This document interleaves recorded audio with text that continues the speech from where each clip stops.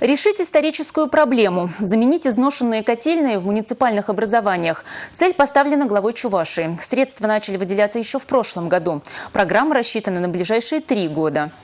Все социальные программы будут выполнены в полном объеме, подчеркнул заместитель председателя правления «Газпрома» Валерий Голубев. В первую очередь это касается газификации территорий. Региональные власти также готовы инвестировать в бесперебойное снабжение жителей благами цивилизации. Теплоснабжающие организации республики несут долговое бремя. Сложно расплачиваться за газ в полной мере, когда котельные дышат на ладан. И жители с недовольством и непостоянностью платят за тепло. В этом году на реконструкцию отопительных систем выделено 206 миллионов рублей прежде всего городу Шумерле, как проблемный город.